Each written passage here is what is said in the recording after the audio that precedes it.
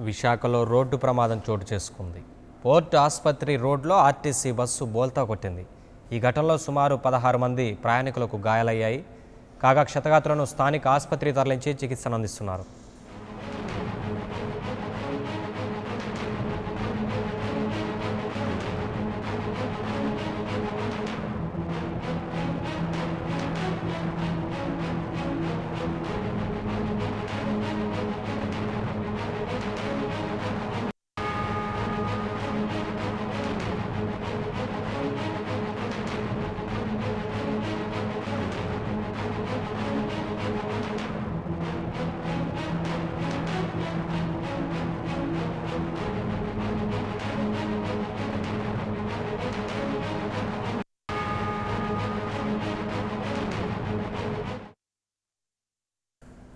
Port ఆసుపత్రి రోడ్లో RTC bus బోల్తా కొట్టినట్లుగా తెలుస్తోంది. దీనికి సంబంధించి మరింత సమాచారం మా కరస్పాండెంట్ భరత్ అందిస్తారు.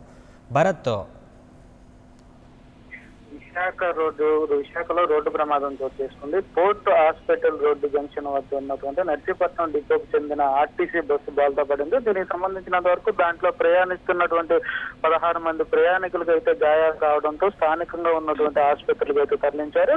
ఈ రోడ్డు జంక్షన్ ట్రై జంక్షన్ లా ఉంటుంది. ఈ జంక్షన్కి సంబంధించినంత వరకు ఆ పై నుంచి వచ్చే వెహికల్స్ కానీ సైడ్ నుంచి వచ్చే వెహికల్స్ కానీ కనిపించకపోవడంతో దీంతో పాటు ఇది వర్షం పడటంతో రోడ్డు జాడు స్కిడ్ అవుతున్నటువంటి పరిస్థితి అయితే ఉంటుంది.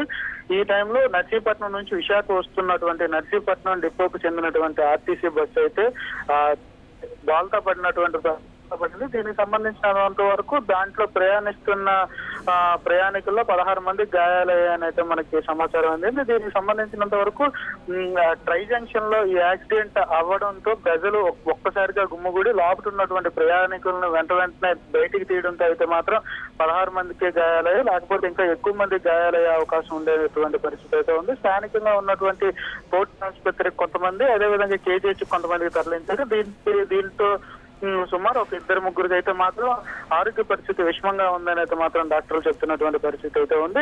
ఈ- ఇప్పటికైతే మాత్రం విశాఖలో ఈ పోర్ట్ హాస్పిటల్ రోడ్లో తరచూ ప్రమాదాలు అయితే జరుగుతూ ఉంటాయి. దీనికి సంబంధించినంత వరకు ఇక్కడ ఒక శిబిరాన్ని ఏర్పాటు చేయాలని మాత్రం స్థానికులు ఎప్పటి నుంచో ఆ పోలీస్ శాఖ వినవించుకుంటున్నా సరే ఇప్పటికీ కూడా అక్కడ ఒక సిగ్నల్ లేకపోవడం వల్ల ఎట్టి ఆ పైనుంచి వస్తున్నటువంటి వెహికల్స్ జంక్షన్లో వస్తున్నటువంటి వెహికల్స్కి ఎప్పటికప్పుడు కూడా తరచూ ప్రమాదాలు జరగడం అనేది జరుగుతుంది దీన్ని ఈ ప్రమాదంలో పాటు బస్సు అయితే బాల్తో పడడంతో అయితే మాత్రం ఈ పదహారు మందికి అయితే గాయాలని right thank you Bharat